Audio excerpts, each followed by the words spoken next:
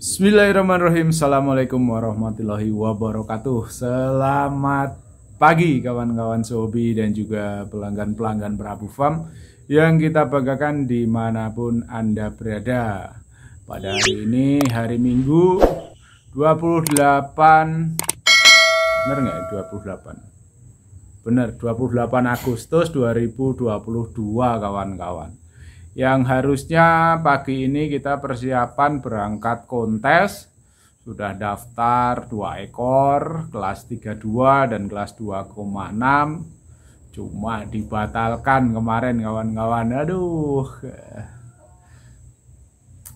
Perih kawan-kawan. Harusnya kita seneng-seneng ini bisa nonton ayam bisa teriak-teriak walaupun perut saya bekas operasi masih sakit tapi semangat saya itu membara kalau udah urusan ayam itu mau berangkat kontes itu tetap ayo gitu aja pokoknya. Cuma ya ini kasus dari si Sampo ini bikin kacau semuanya.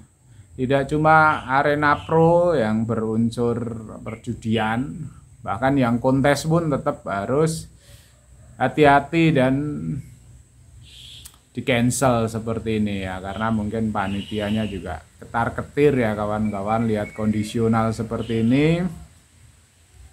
Dari institusi kebersihan yang harusnya ah, bisa memberikan izin sekarang kondisi di atas yang di puncak di puncak kepemimpinannya lagi goyah lagi kacau dengan kasus yang luar biasa.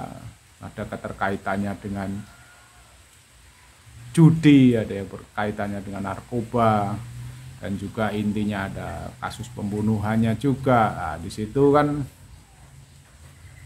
apa ya tidak cuma satu dua pemimpin yang terkena tapi imbasnya itu merembet karena ya terstruktur dan masif ya kawan-kawan. Jadi seperti itu. Mau nggak mau instruksinya dari atas ke bawah tetap harus ketat untuk menjaga ya istilahnya menjaga kepercayaan masyarakat benar-benar ketat. Jadi perjudian narkoba ini semua babat habis instruksi sampai ke bawah seperti itu. Jangan ada celah seperti itu. Karena memang untuk saat ini benar-benar lagi menjaga eh, apa ya biar tidak ter terlanjut atau tidak ter uh, terkait dari yang di atas tadi. Ya, oke okay lah itu masalah institusi kebersihan. Kita nggak usah bahas. Kita bahasnya di ayam saja ya kawan-kawan. Jadi ya seperti ini. Minggu kebetulan ini di Magelang hujan. Jadi ya kacau sekali. Paling nanti abaran di kandang aja jadi nggak bisa kontes nggak jadi teriak-teriak ayam kemarin sudah kita abar yang kita siapkan kondisinya udah ngesering udah merah kawan-kawan mantep banget ya. ternyata gagal seperti ini ya udah nggak apa-apa istilahnya ya mau bagaimana lagi kondisional ya untuk kawan-kawan Zobi tidak usah khawatir, tidak usah panik. Seperti ini insya Allah tidak akan berlangsung lama kawan-kawan. Seiring bertambahnya waktu, tingkat apa ya dapat dibilang tingkat kepanikan dalam kasus ini pasti akan berkurang berkurang berkurang dan nanti akan terlupakan. Seperti itu biasa kasus itu. Kalau lagi panas lagi merebak semua berpengaruh. Efeknya luar biasa. Tapi nanti inten intensitasnya pasti akan menurun kawan-kawan. Dan biasanya nanti ada penutupan kasus. Eh, dalam artian penutupan kasus ada kasus lain yang muncul di permukaan. Entah itu dibuat entah itu benar-benar kasus baru. Nah, nanti ada yang muncul lagi di permukaan dan yang lama ini pasti akan tertutup dan redup-redup-redup lama-lama tidak dibicarakan dan menghilang. Seperti itu ya kita belajar dari yang sudah-sudah pasti begitu. Entah itu nanti kasusnya di masalah kesehatan atau masalah apa-apa itu pasti akan ada kasus yang muncul baru di permukaan dan itu akan uh, menghilangkan kasus yang lama. Menghilangkan dalam artian sudah tidak dibicarakan lagi seperti itu. Oke. Dengan demikian pengaruhnya nanti di dunia hobi dunia ayam akan kembali stabil lagi. Kalau institusi kebersihan ini udah uh, jalan normal lagi ada celahnya lah istilahnya udah mulai ketegangan ini udah mulai mereda. Insya Allah nanti perizinan juga gampang. Pelan-pelan yang pro pun makin nanti akan berjalan lagi. Jadi kawan-kawan tetap dunia hobi ini tidak bisa kalau berhenti. Tetap nanti akan ada kelanjutannya tetap jalan lagi. Jadi nggak usah khawatir. Tetap rawat ayam. Jangan langsung dibongkar ya. Dibongkar dalam artian jual semua, jual murah, jangan seperti itu. Kasus seperti ini udah biasa dalam artian ya fluktuatif lah, naik turun naik turun tingkat eh, apa tingkat keramaian dunia hobi ini biasa seperti itu naik turun naik turun. Tapi kalau harus selesai, harus habis, tidak main lagi, nggak mungkin seperti itu. Dunia hobi ini tetap nggak mungkin. Udah dari nenek moyang sampai besok penghobi ayam itu tetap ada. Karena apa ya? Ini hobi laki-laki. Tetap seneng ya dari zaman kerajaan sampai besok zaman milenial pun tetap orang itu seneng nonton ayam aduan. Terlepas dari masalah judi atau taruhan pokoknya seneng aja lah nonton ayam itu tetap seneng kalau laki-laki seperti itu jadi hobi ini tidak akan pernah mati. Kalau peternak yang mungkin uh, membaca situasi dan mengkondisikan terus jual ayamnya murah-murah itu salah kaprah kawan-kawan. Tahan aja jangan jual ayam murah-murah. Karena itu akan merusak harga pasaran ternakan anda sendiri.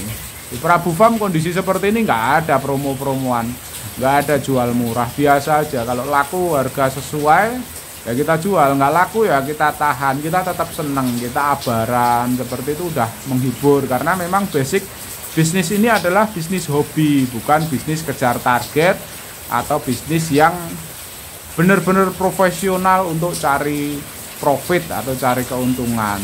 Keuntungan utamanya adalah rasa senang dalam hati dan pikiran. Itu keuntungan yang utama. Kalau masalah keuntungan dari segi materi dari segi uang itu nomor dua. Itu tambahan seperti itu. Jadi tidak usah terpengaruh dengan kondisi seperti ini terus dijual murah, dijual obral, Anda yang akan kacau sendiri. Nanti akan memulai lagi ketika kondisinya bagus, itu pasti akan sulit.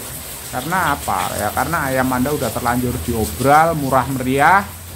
Nanti ketika mau jual dengan harga standar lagi akan sulit. Pembeli udah terlanjur menilai bahwasanya ayam Anda adalah ayam obralan, ayam yang murah meriah. Seperti itu. Sulit sekali untuk naik lagi nanti kawan-kawan percaya saya. Udah istilahnya apa ya saya udah eh, mohon maaf ini bukan kok ria atau pamer. Saya jualan online udah dari 2007 Insya Allah pengalamannya itu menghadapi permasalahan-permasalahan seperti ini sudah cukup kenyang ya kita ya. Jadi ah, udah biasa lah. Kalau masalah uh, permintaan turun atau uh, apa istilahnya di pasaran itu bergelombang itu wajar. Nggak apa-apa. Nggak apa-apa. Wajar ikuti aja perkembangan trennya. Tapi kalau orang seneng nggak peduli. Pembeli itu tidak harus pemakai. Ibaratnya arena sekarang lagi sepi mungkin pemakai nggak begitu apa ya nggak begitu banyak yang cari ayam. Tapi kan ada orang yang mau beternak yang baru mau memulai untuk bisnis atau mau mulai untuk cari materi. Ya di situ. Jadi insya Allah aku yakin aja tetap ada pembeli itu untuk uh, dengan tujuan masing-masing. Bahkan ada pemain ayam pun yang istilahnya tetap cari materi yang muda-muda. Dengan kondisi seperti ini kesempatan untuk memaksimalkan rawatan ayam sebagus mungkin. Karena apa? Waktunya longgar jadi nggak terburu-buru tergesa-gesa untuk dimainkan. Eh, sambil nunggu situasi kondusif siapkan ayam-ayam muda yang berpotensi bagus. Ah itu nanti ketika waktunya oke okay, arena udah mulai buka kontes mulai jalan itu pasti ayamnya kondisinya udah bagus banget. Karena apa? Karena rawatannya maksimal dengan tempo waktu yang tidak tergesa-gesa tidak dikejar-kejar seperti itu. Jadi kalau Anda bisnis atau ternak profesional ayam hobi kondisi seperti ini jangan terlalu panik. Jangan terlalu panik untuk mengobral atau mempromo ayamnya. Kalau masalah nambah atau nombok itu biasa kawan-kawan. Kita pemain ayam udah udah nggak kaget lah Ya kadangkala ada dari ternak itu masuk ke kantong dan ada kala uang pribadi kita atau dari kantong kita keluar untuk ternak. Ya wajar namanya bisnis kesenangan. Masa nombok nggak berani kan? Ya aneh seperti itu. Jadi tidak tidak apa ya tidak selamanya atau serta merta itu kita cari keuntungan. Kadang nombok untuk hobi itu kan nggak masalah. Nombok loh nombok itu berarti tidak sepenuhnya. Tetap ada perputaran atau cash flow dari pemasaran itu sendiri. Kalau misalnya yang namanya nombok itu ibarat kebutuhan 10 juta. Wah 10 juta ternyata dari pemasaran nggak tercover nih bulan ini. Cuma ada 7 juta misalnya berarti nombok 3 juta lah. Nombok itu seperti itu tidak sepenuhnya. Jadi masih lumayan lah. Ibarat kebutuhan di kandang kita 10 juta kita hanya mengeluarkan 3 juta lah. Seperti itu namanya nombok. Tapi sesekali besok kondisi bagus kebutuhan kita 10 juta pemasaran kita bisa 70 juta bisa 100 juta.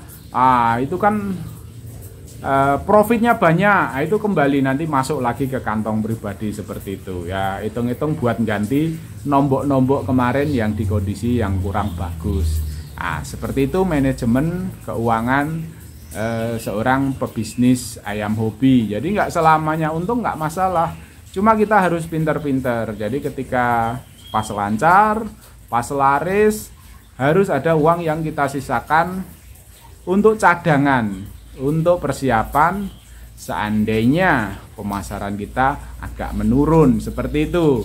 Jadi memang apa ya namanya hobi lah. Hobi itu ya nggak bisa dipaksakan harus cepat laku, harus tiap hari laku. Kalau mau tiap hari laku jualan ayam potong Nah, itu kebutuhan konsumsi ya. Istilahnya yang kebutuhan untuk makan itu tiap hari orang pasti perlu. Kalau hobi nggak tiap hari orang perlu. Cuma sekali laku hasilnya lumayan. Tidak ada standarisasi harga dalam bisnis ayam hobi. Itu keuntungannya di situ. Kalau jualan ayam potong, ibarat kita mau cari margin atau keuntungan satu juta itu paling enggak ya satu juta itu udah kita harus jual 200 ekor lah istilahnya. Ayam potong itu kecil sekali kawan-kawan.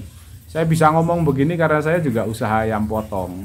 Satu ayam itu paling 3000 maksimal 5000 dapat itu udah bagus sekali. 5000 rupiah kawan-kawan. Jadi 5000 kalau 100 ekor baru 500 ribu. 200 ekor baru dapat 1 juta. Jual ayam 200 ekor itu juga nggak gampang. Beda dengan ayam aduan, ayam hobi. Kita jual satu ekor, margin 2 juta bisa. Mau margin 5 juta bisa. Mau margin 1 juta pun bisa, tergantung bagaimana kita mengelola atau manajemen pemasaran kita. Seperti itu. Jadi setiap usaha pasti ada plus minusnya. Jadi tinggal bagaimana kawan-kawan merasa kecocokan, merasa lebih pas dengan passionnya jadi kalau mau jualan yang lancar tiap hari, silahkan jual barang-barang konsumsi. Paling gampang jual beras itu kawan-kawan. Tiap orang pasti perlu tiap hari. Cuma keuntungan beras berapa? Maksimal 500 rupiah satu kilogram. Itu udah bagus banget. Seperti itu. Jadi kalau kawan-kawan targetnya mau cari keuntungan yang banyak, harus main kuantitas, jualnya banyak. Tapi kalau kawan-kawan pengennya, wah sekali transaksi hasilnya jutaan, ya main di hobi itu lebih nyaman seperti itu. Oke, semoga uh, yang singkat ini bermanfaat memberikan gambaran bagi sahabat hobi yang sedang panik dalam kondisi seperti ini. Jadi bisa apa ya sedikit menenangkan lah insya Allah konten saya konten yang berusaha memberikan kebahagiaan, memberikan solusi dan memberikan uh, apa ya edukasi bagi sahabat hobi terutama sama-sama pebisnis ayam online yang mungkin baru merintis jadi masih uh, gampang goyah, gampang terkena pengaruh oleh permasalahan-permasalahan yang sedang dihadapi. Oke, terima kasih. Wassalamualaikum warahmatullahi wabarakatuh. Salam sukses untuk kita semua.